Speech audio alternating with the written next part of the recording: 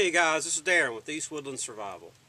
Uh, we just finished up uh, a video on doing a, uh, my hides and fleshing and stuff, and you end up with a uh, leftover.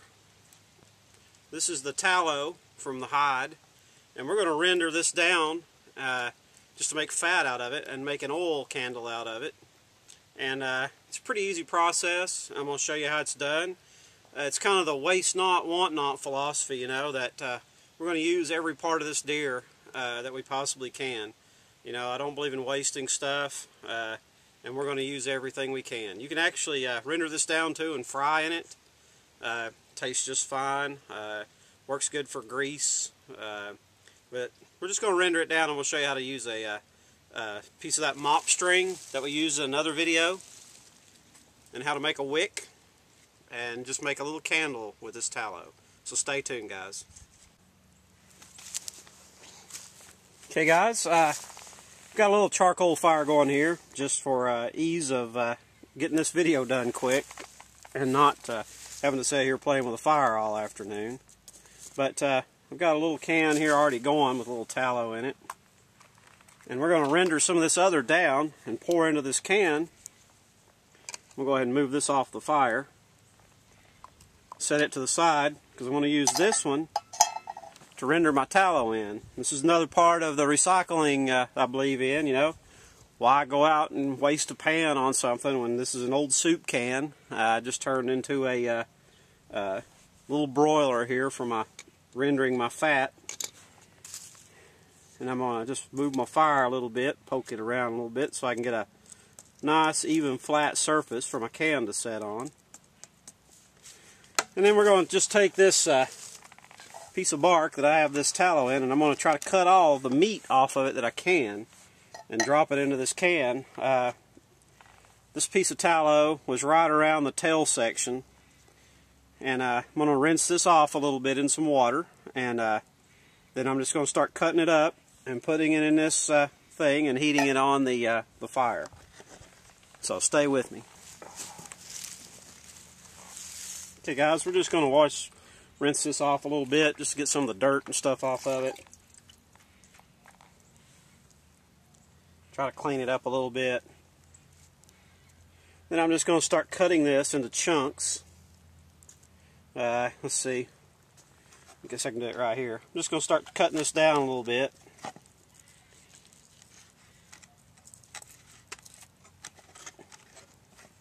Putting it in my can.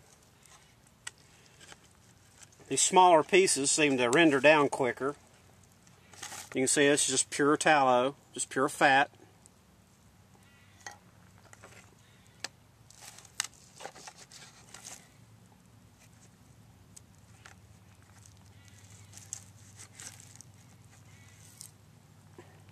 Really good white, clean stuff.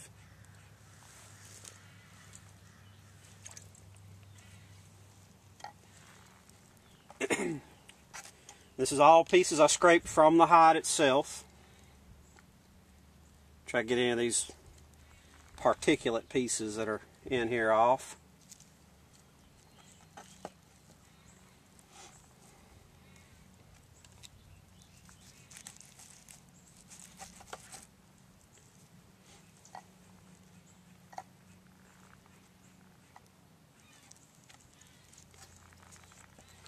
this will be a big piece here. Nice big piece of tallow.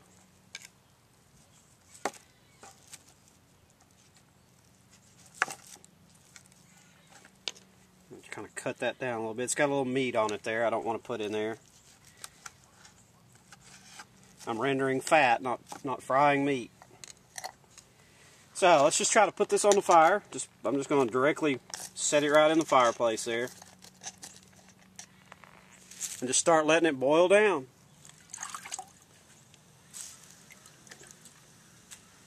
Now periodically, I'm just going to pour the fat off of this into this can. Better not grab that. Then we'll set this to the side and let it be heating up a little bit.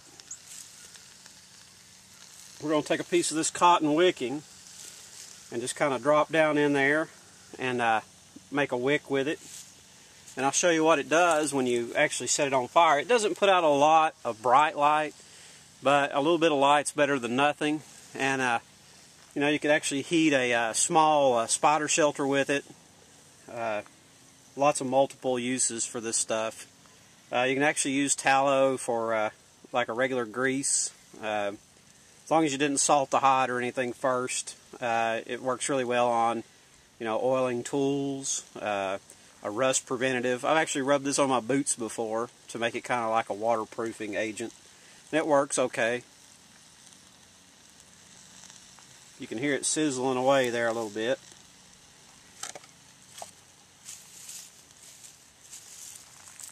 Should have plenty in there for what I'm what I'm wanting today.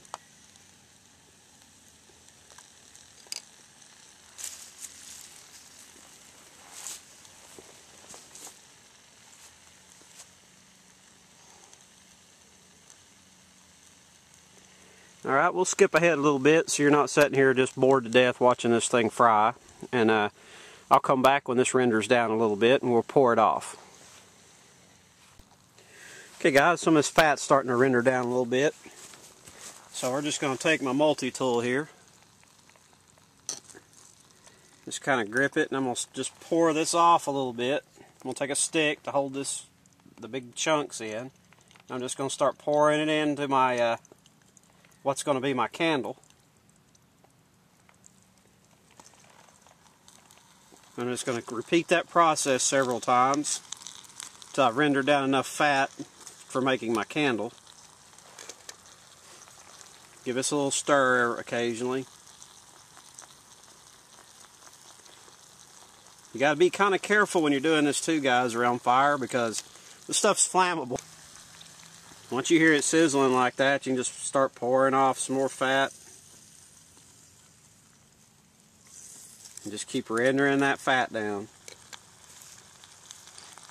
I'm not really cooking this one as much. I want it just warm. Uh, I don't want it, uh, you know, uh, getting too fried in there.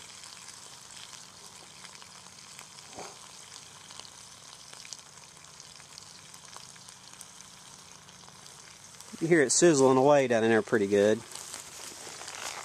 Take my little stick, just kind of give it a little stir and poke it down in there some more.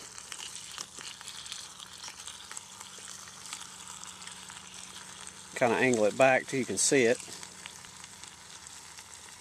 Like I say, I don't believe in wasting anything. You know, I try my best to uh, use everything I possibly can. I don't believe in, you know, uh, a lot of people will throw this stuff away. Uh, people have been using this for a long time, you know, as uh, grease to fry in, as uh, uh, waterproofing, as candles.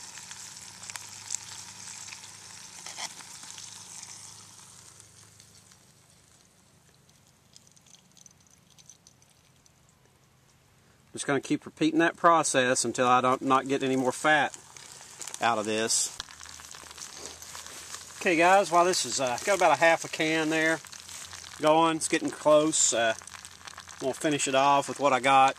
And uh, right now we're going to talk a little bit about wicking. This is just a piece of that cotton mop string. And uh, you can leave it like it is and make one big wick. Or you can actually pull it apart. They're into four sections. And make smaller wicks. Today I'm just going to leave this whole and we're going to make one big wick. I tell you what, this actually smells really good too, believe it or not.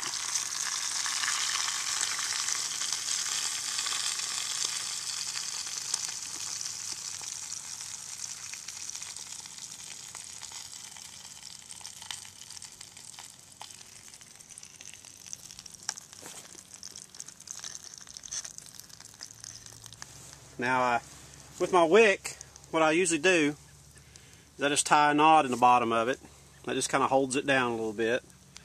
And we'll go ahead and start this wick in here. And I'm just going to start dropping my wick in. I want this toward the bottom. And I want to get the wick completely soaked in this grease. Then I'm just going to pull my wick up a little bit and move it to the side. And I want this to kind of go in the center. So as I pour, I'm going to keep moving this wick out a little bit. And the excess will cut off later.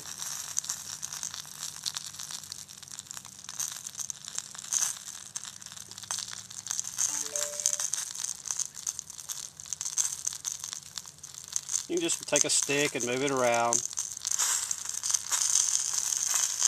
The tallow will actually uh, harden up, and especially as it cools off and gets really cold, uh, it'll uh, harden up pretty good. Um, we'll try to get some more of this rendered out again, and I'll show you how this thing uh, works when it's uh, lit up. I probably won't fill this thing full because my daylight's running out, and uh, got other things to do. But let's get let's get this on. Alright guys, got a pretty good can full of tallow here. You can see how I've got it, the wick and everything kind of set up. And uh, we're going to let this uh, kind of gel up a little bit. And I'm going to, then I'll take the stick off where the, that's holding the wick up. And uh, we'll watch it burn here this afternoon and see how it goes. Now you don't have to have that much tallow in a can. I mean, you can use a smaller container. Um, I've actually seen people take, you know, river cane, bamboo, stuff like that, and uh, make a mold and just kind of mold this stuff like a, a taper candle.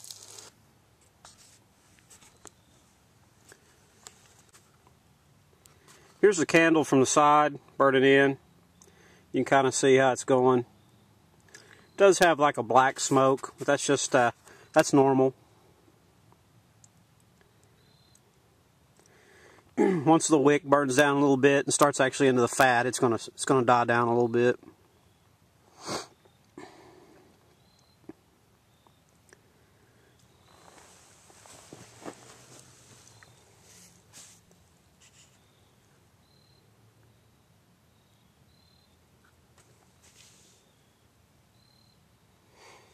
And the reason I left that other wick in there is if I want to uh, need a little extra light or something, I can actually set that other wick on fire and uh, get some more light. And I just kind of bend it over a little bit. Just kind of an emergency light, I guess. And once it catches up, just move it back off to the side.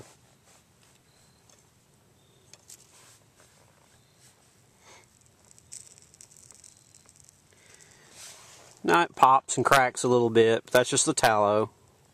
Nothing to be concerned about.